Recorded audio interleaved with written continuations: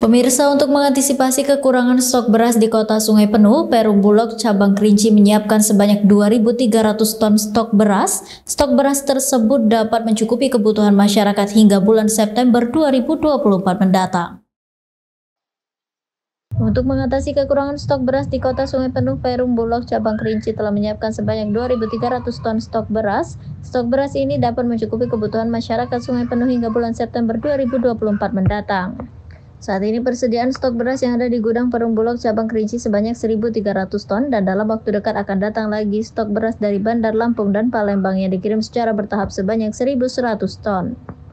Kepala Perum Bulog Kerinci Romi Victor Rose mengatakan pihaknya akan menyalurkan beras setiap bulannya kepada masyarakat sebanyak 400 ton, sehingga dengan adanya ketersediaan stok beras sebanyak 2.300 ton akan mencukupi kebutuhan masyarakat hingga September 2024 mendatang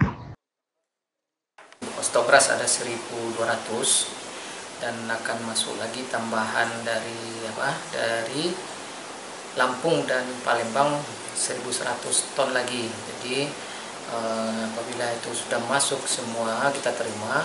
Jadi stok itu ada sekitar eh, 2300 ton. Artinya stok itu kalau dibandingkan dengan rata-rata salur kita per bulan sekitar 400 ton 500 ton itu masih cukup untuk 4 bulan 5 bulan ke depan. Nah yang pengiriman ini akan dikirim secara bertahap. Nah jadi uh, insya Allah sampai akhir September uh, cukup itu stok yang akan masuk itu. Romi menambahkan stok beras akan didistribusikan kepada masyarakat melalui pasar murah dan di toko sembako yang tergabung sebagai mitra rumah pakan kita yang ada di kota Sungai Penuh.